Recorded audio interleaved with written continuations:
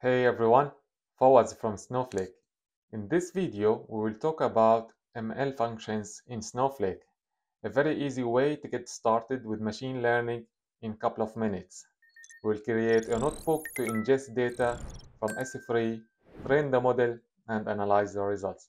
So let's get started. So first thing first is to upload the notebook into your Snowflake account. You can do so by clicking on left menu, click on notebooks and click on import. Once the notebook is imported, change the status from start to active. So for this example, we're gonna use a bank marketing dataset to detect outliers using ML functions in Snowflake. So first step is to set up the environment and this means to create or replace a database, a schema, and a warehouse as you see here. So let's run this cell. Now we have the environment set up successfully. We can load the data into the notebook. So for this example, I'm using data stored on S3. So I will create an external stage and load the data from external stage into a table. So let's run this cell.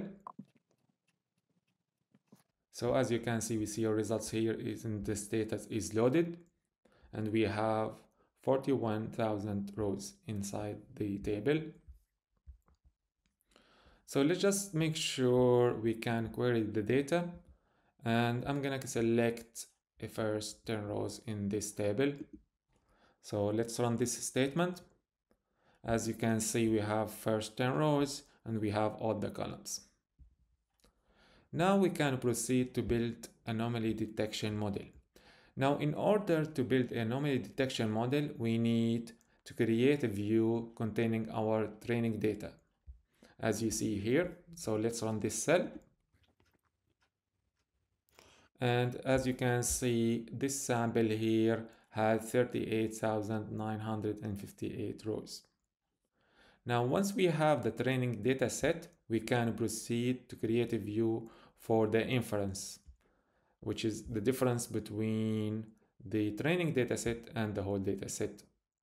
So let's create the anomaly inference and we have 2230 rows in this anomaly inference dataset.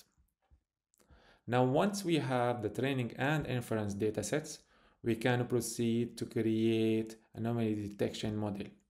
Now, to create anomaly detection model, we can uh, use anomaly detection function inside Snowflake. So in order to do this, we need to have a input data and we're going to use the training data set. We need to specify which column we use for series. In this example, we're using education column.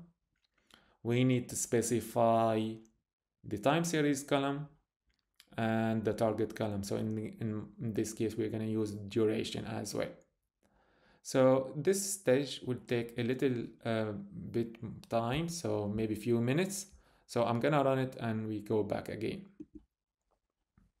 So after we created the anomaly detection model and we trained it on the training dataset, and it took us just under two minutes, we can proceed to do the inference.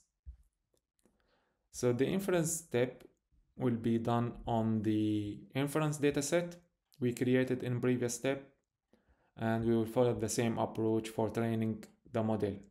So for the inference, we need to specify series column. In this case, it will be education. For the timestamp, we're gonna use the timestamp column and the target column will be duration. For prediction interval, we are using 0.95 and the results of the inference will be stored in a new table. Once this has been done and took us just under one minute, we can query the data. So I'm just looking at the first row. In this case, we have a university degree series with 127 anomalies. So to conclude what we've done here, we detect outliers using ML functions. And in this state, we took a bank marketing dataset in time series data format. And make sure to check the quick start on snowflake.com and also make sure to follow the ML functions documentation.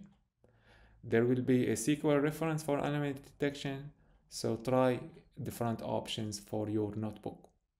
So here you have it, ML functions in Snowflake platform. I hope you liked this video. Make sure to like and subscribe and leave us comments in the comment sections below and I will see you in the next one.